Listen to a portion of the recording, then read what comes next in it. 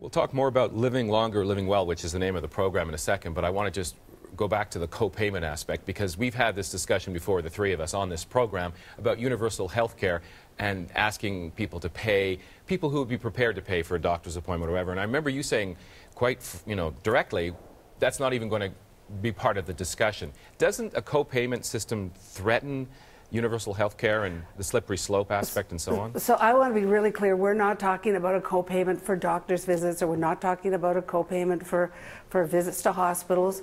Uh, what Dr. Sinha has recommended is that we bin, begin a conversation about, about asking people who can, who can uh, to pay a little bit for care they receive in the home.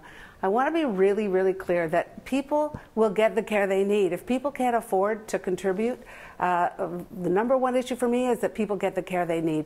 Is it a conversation we should have? I'm prepared to have that conversation.